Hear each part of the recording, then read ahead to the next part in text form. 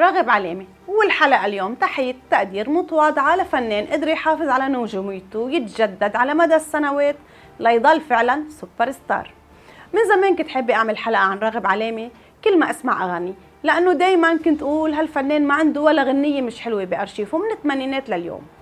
وسواء كنت بتحب راغب علامة أو ما بتحبه ما بتقدر تنكر إنه فنان يتمتع بذكاء فني عالي وما بتقدر ما تعجب بقدرته على إنه يضل متربع على القمة لأكثر من 35 سنة ويعبر بنجوميته ثلاث أجيال مختلفة.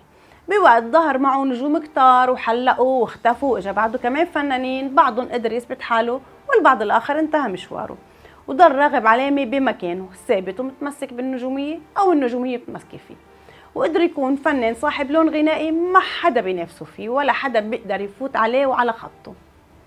رغب بالسنوات الأخيرة ابتعد عن إصدار الألبومات وكان آخر ألبوم أصدره ب 2014 اللي هو حبيب ضحكاتي.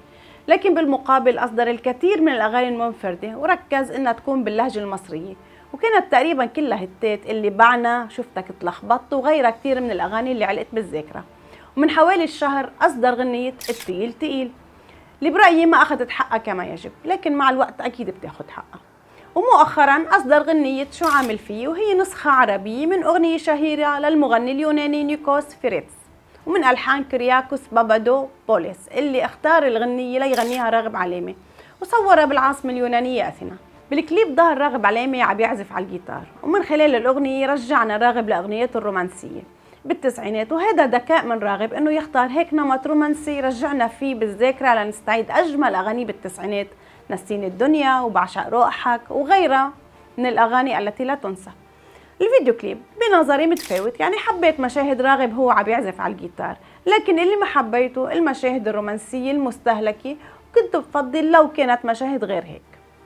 مسيرة راغب علامة الفنية بتأكد إنه مش ضروري الفنان يكون صاحب صوت خارق وقوي ليستمر بعالم الفن وإنه الصوت لا يملك مساحات واسعة لكن يملك الذكاء الفني اللي بخليه يلعب بهذه المساحة وينوع بين الكلاسيكي والإيقاعي والطرب الشعبي ويصنع الفرق باختياراته الصائبة اللي خلته يكون نجم بوب حقيقي.